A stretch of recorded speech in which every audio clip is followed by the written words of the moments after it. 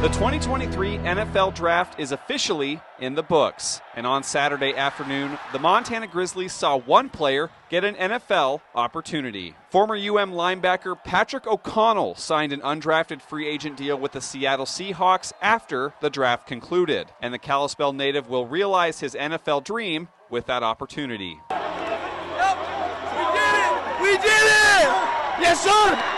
O'Connell was a dominant force on the field for the Grizzlies the past two seasons. The Glacier High graduate began his career as a two sport athlete at Division II University of Mary in North Dakota before walking on at UM in 2018. O'Connell worked his way up quickly to become an impact player for the Grizzlies, and he eventually became a Buck Buchanan finalist in 2021, an award given to the top defensive player in the FCS. And he finished his career as a two time All Big Sky player and All American. O'Connell finished with 28 and a half sacks in his career, good for sixth most in school history, and added 45 tackles for loss, which is tied for fourth most in program history. O'Connell is the seventh Grizzly to ever sign with the Seahawks on draft day, and first since Brock Coyle in 2014.